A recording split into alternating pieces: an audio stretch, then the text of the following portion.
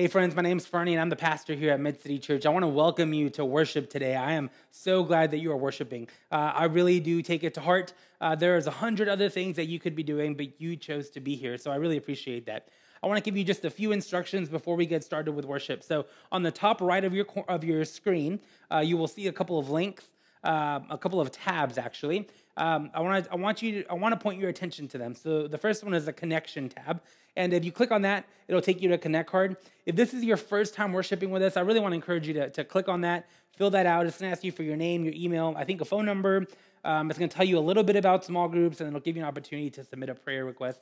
We really want to know who worshiped with us. So, uh, whether this is your first time or hundredth time, uh, please uh, consider um, clicking on that and filling out a Connect card.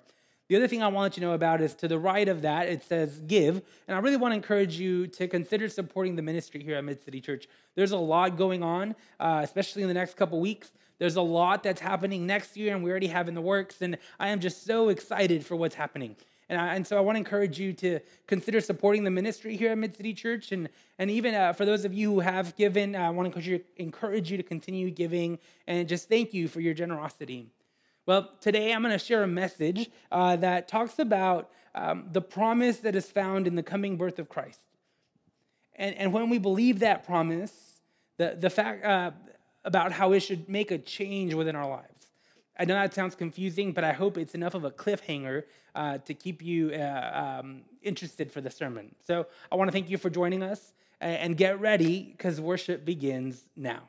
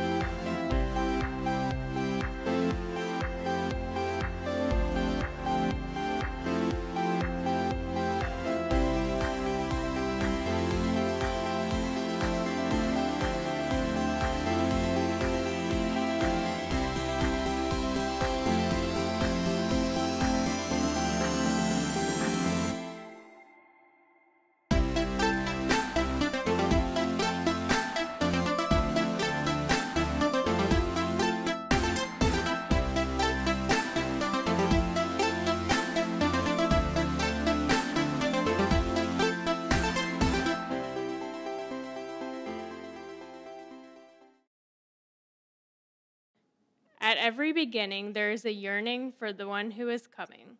O Emmanuel, open us to your presence. We gather together to allow our deeply held hopes to be reshaped by God's promises. O Emmanuel, open us to your presence. We wait for the day when God will make for us a future that is no longer predicated on our fear. O Emmanuel, open us to your presence. We find a new receptivity within us that desires God's will over our own will and relies on God's justice and mercy to accomplish it. O Emmanuel, open us to your presence. Jesus, we welcome your presence now with the lighting of these candles, whose flames bring warmth to winter and fill this place with the glow of hope. Amen.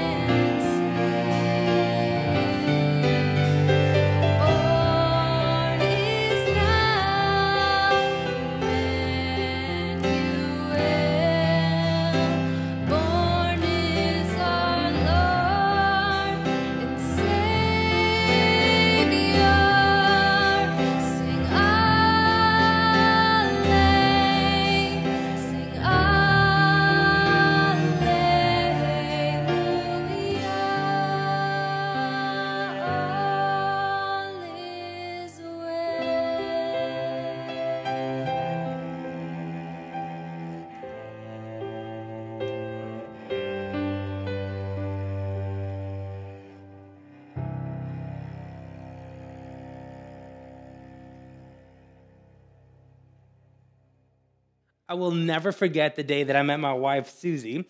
We were in Kansas City for a Young Preachers Conference, and uh, we um, I met some of my best friends from seminary there. So Kyle was there, Austin was there, and my friend Mallory took her two coworkers, Susie and her friend uh, Roxy.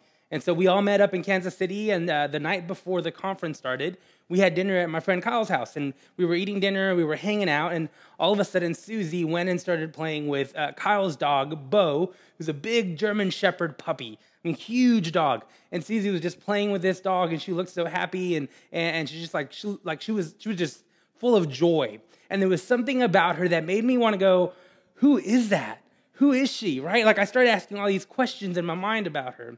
Well, the next day, we uh, uh, after the conference, we went to dinner, and uh, I sat across the table from her, and I started getting to know her a little bit more and asking her more questions. And uh, after we left uh, that night, I started messaging her on Facebook, and and uh, I'm guessing she must have felt the same way because you know soon after that, a couple months after that, we started dating. Eventually, she moved down to Louisiana, and now we're married, and it's been it's been a lot of fun. But I'll never forget. Uh, sitting in Kyle's living room, uh, watching Susie play with this big German shepherd and asking, Who are you? Who is she?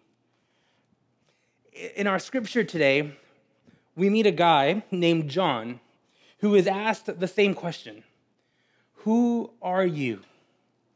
And, and I know it's not the, uh, in a romantic manner that he's asked that question, but there is something about him, something about the way he's living life, about something that he just exudes in living life that, that catches people's attention.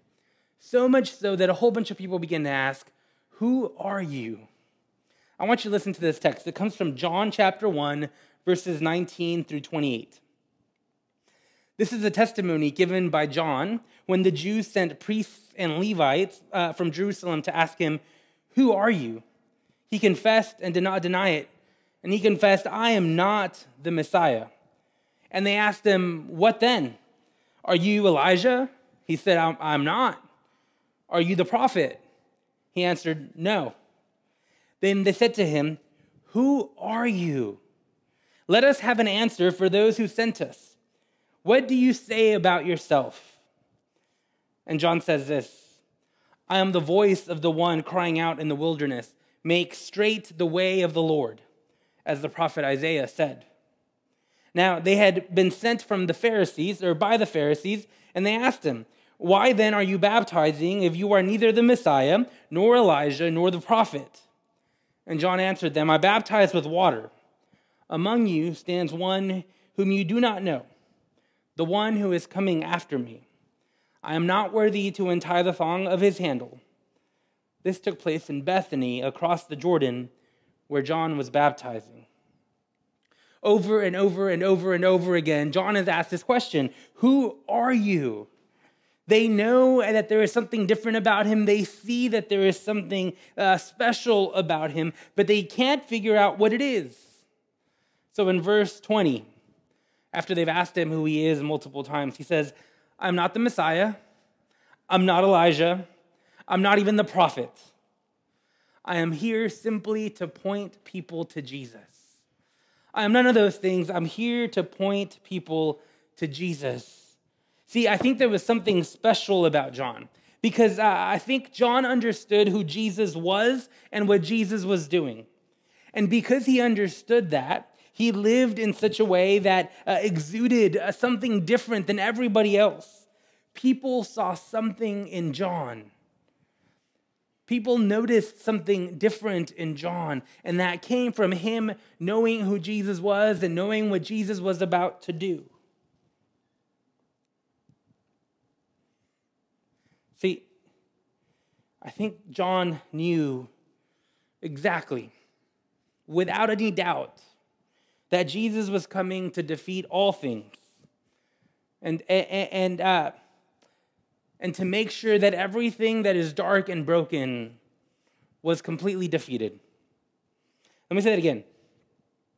I think John knew that Jesus was coming to defeat all things dark and broken once and for all. And because he knew that, because he knew what Jesus was about to do, he, because he knew that the coming of Jesus was going to change everything, because he knew that, he lived with a sense of hope and grace that was just different from everybody else. And the reality is, since we too know what the life of Jesus means for us, since we as Christians know what the life of Jesus means for us, we too are called to live the same way that John lived, exuding a different kind of something that the world doesn't seem to have. See, on December 24th, we're going to celebrate the birth of Jesus. And with that birth, we believe that God broke through and won the ultimate victory against all things that are uh, dark and broken, that, that He won all things against evil and sin, Light has entered into the darkness and won over it through Jesus. All things broken have been put back together. And here's the beautiful thing about Jesus that we as Christians know.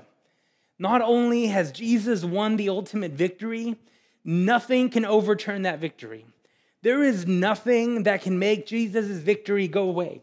Nothing. Friends, sin, evil, darkness, worry, fear, anxiety, depression, brokenness, all of it has already lost to Jesus. Now, isn't that something that should change our lives?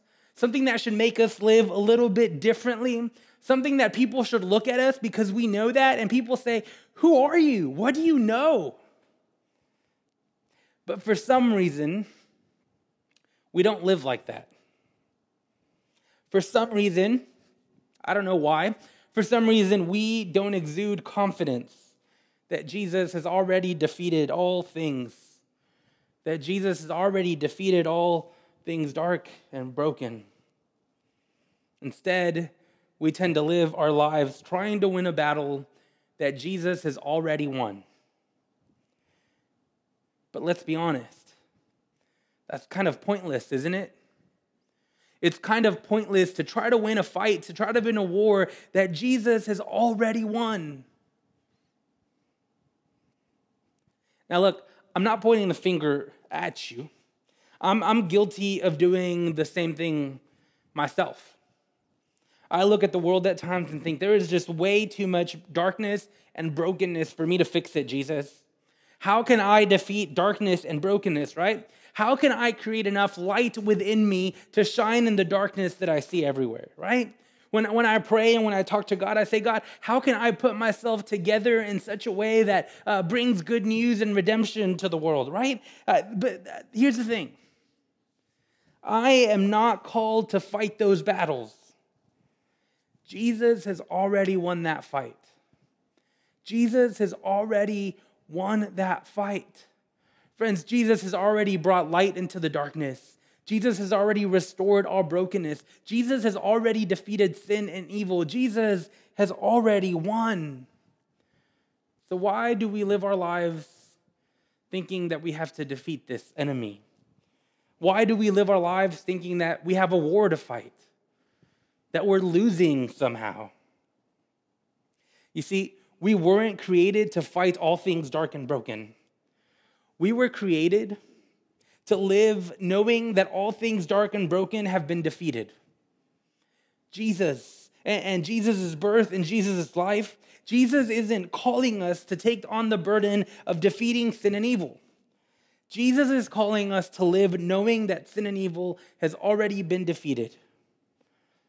And that's a huge contrast it's a huge contrast to live in this mindset of uh, we have to defeat evil, we have to win this victory, we, we have to fight, otherwise, Jesus and good are going to lose. That's different, and that's, that's, that's not the right way of living.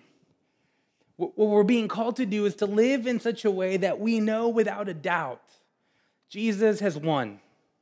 Evil, sin, darkness, brokenness, it has all been defeated.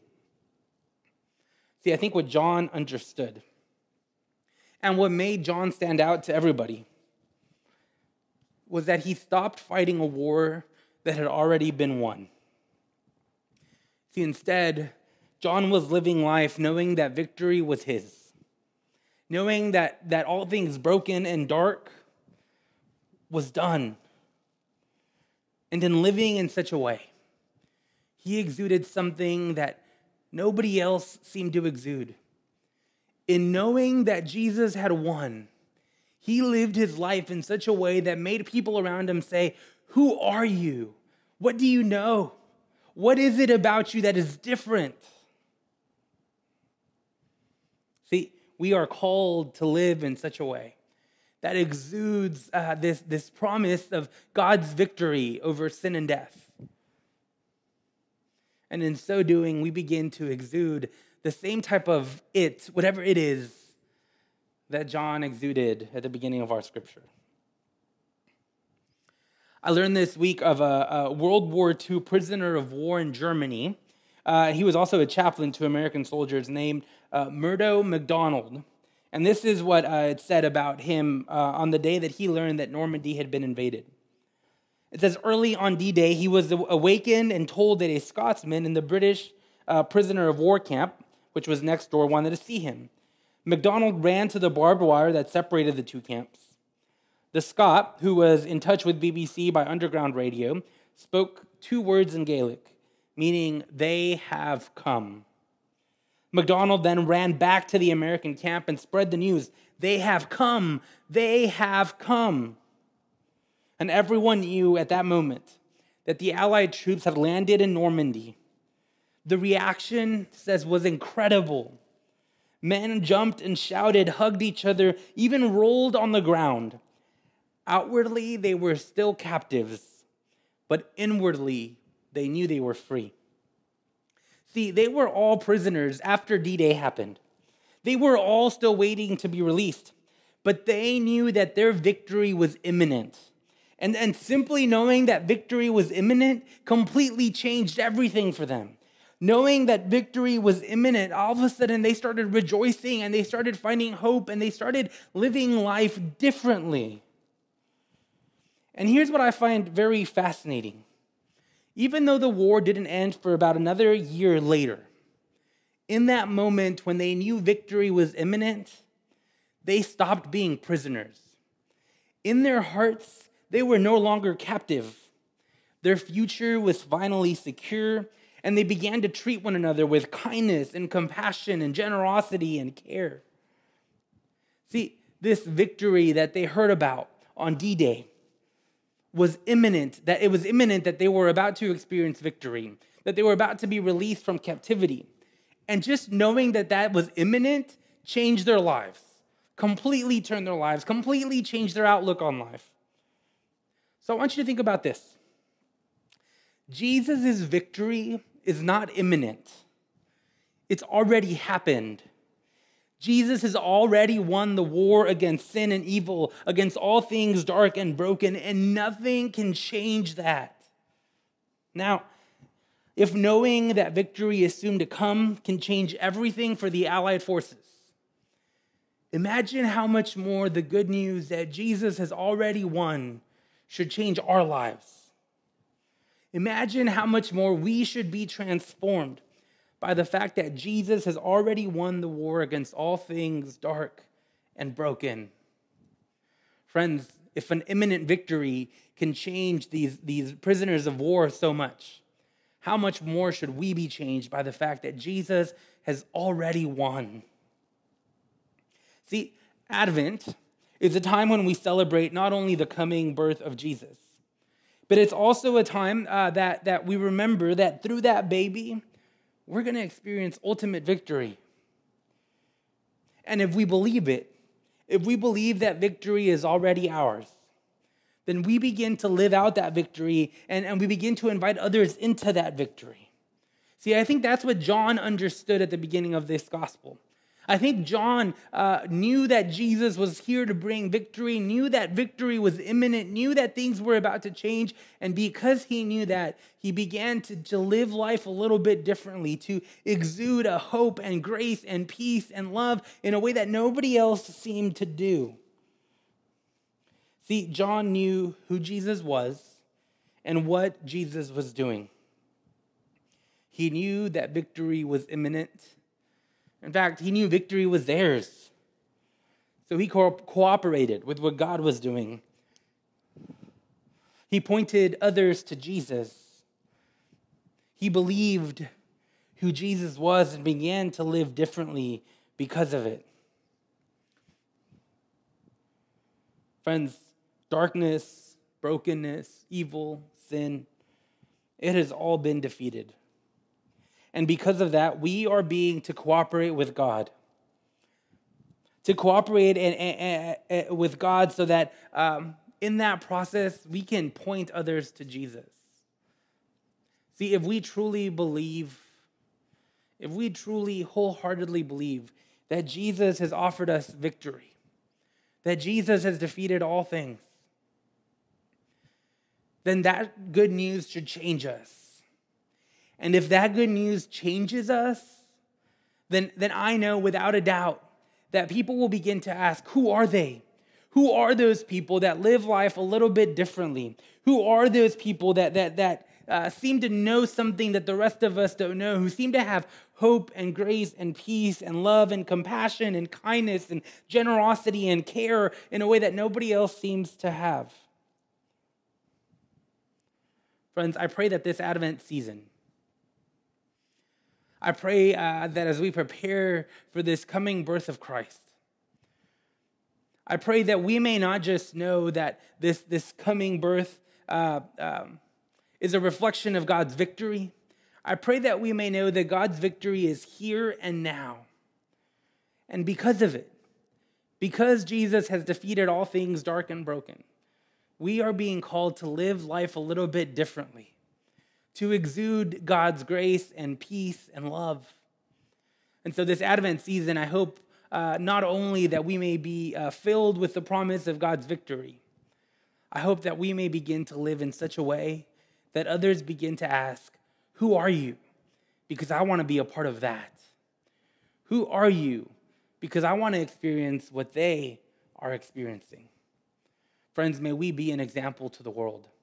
May we shine God's victory into the world. May it be so. Let us pray. Gracious and loving God, we give you thanks. God, as we await and prepare this coming birth, remind us that this birth brings us victory, that this birth defeats evil and sin and death that this birth changes everything for us. So, God, I pray. I pray that this Advent season, this good news of your victory may, may dwell in our hearts so brightly and so loud that when the world looks at us, they may see Jesus that by believing your victory and owning your victory, that others may be pointed and led to Jesus. God, we just give you thanks. And we pray this in your most precious and most glorious name. Amen.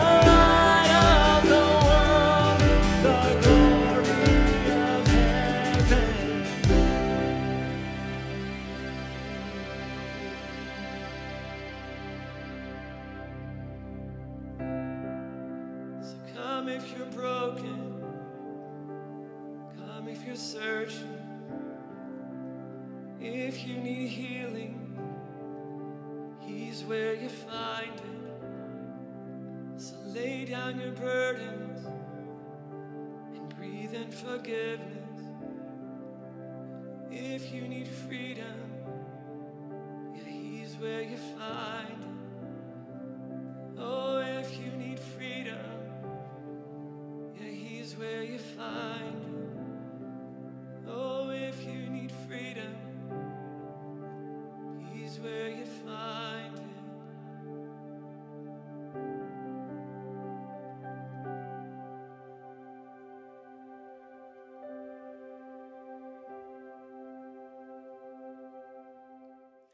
Well, hey, I just want to I want to thank you for joining us today. I hope that um, worship, like every single week, uh, challenged you a little bit. I want to give you one quick announcement too, actually. So next week we're going to experience a uh, music Sunday, and you'll get to listen to a whole bunch of music and scripture being read, and and I, I'm very excited for it. It'll be a little bit different than what you're used to.